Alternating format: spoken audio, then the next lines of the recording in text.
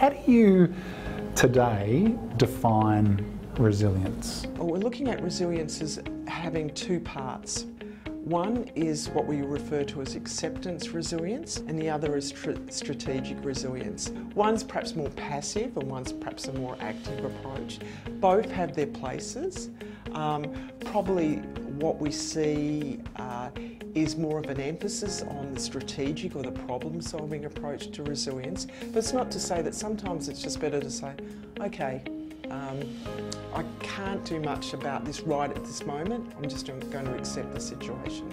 You can be resilient, yeah, I'll, I'll get through this, and keep doing the same thing. Or you can be resilient, yeah, I'm going to get through this, but assess what happened, modify behaviour, execute that modification, deliver a better result. Cope, understand and thrive in the face of adversity. The ability to persevere and persist, simple as that. How do you define resilience, whether it's yourself or at the Collingwood Football Club?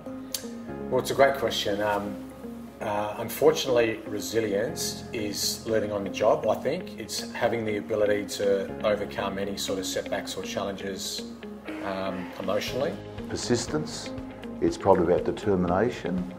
It's showing that every time you get knocked down, you're going to stand up and fight for your rights and give it your very, very best. Resilience is just a fancy word for being composed under pressure, being optimistic, being confident, keeping your head up, not getting it right today, next week, or the month after, but still trying.